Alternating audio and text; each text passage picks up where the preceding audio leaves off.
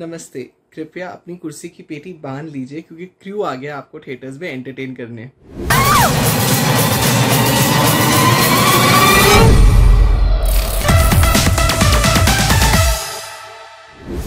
Hi guys, welcome to Filmy Beat. This is Murtaza Iqbal and today I'm here to review the film Crew.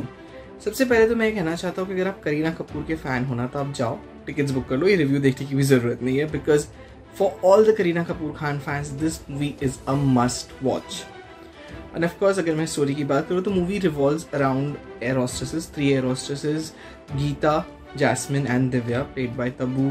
Kareena Kapoor Khan and Kriti Sanon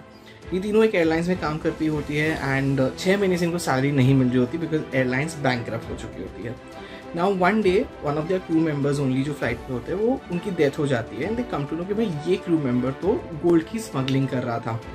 This three you know they also want money और वो involve हो जाती है उसमें और फिर उनकी life में क्या क्या टर्बुलेंसेज आते हैं that's what forms the rest of the story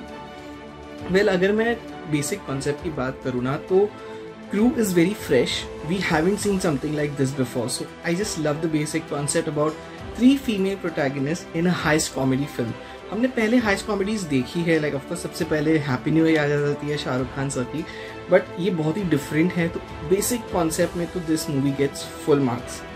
direction and screenplay is like good I mean ये शुरुआत जो फ़र्स्ट हाफ़ है, जो बिल्डअप होता है ना मोस्टली ऐसा मूवीज़ में ऐसा होता है कि जो बिल्डअप होता है, वो थोड़ा बोरिंग होता है। बट यहाँ पे buildup is very interesting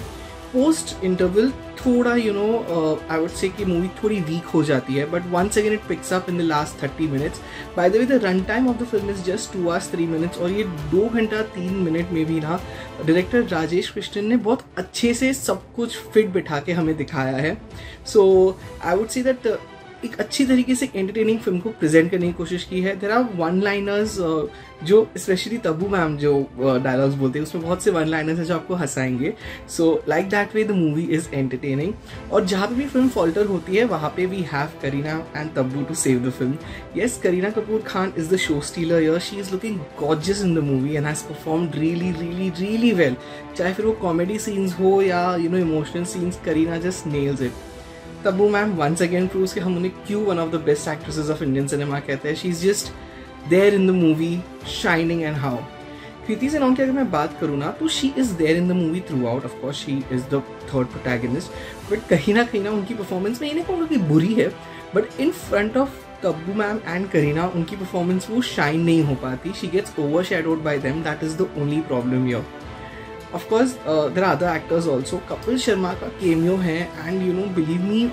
इतना इंजॉयबल केमियो है ना कि आपको लगेगा कि यार हमें कपिल को और देखना है।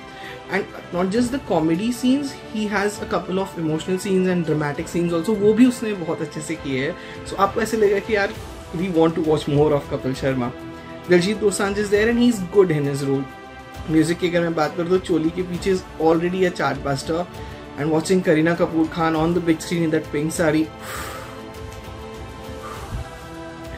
Well so overall अगर मैं क्योंकि बात करूँ, एक एंटरटेनिंग फ़िल्म है। येस थोड़ी बहुत लूप होल्स है but as I said Kareena and Tabu ma'am are there to save the film so आप लोग जाइए इंजॉय कीजिए I am going with three and half stars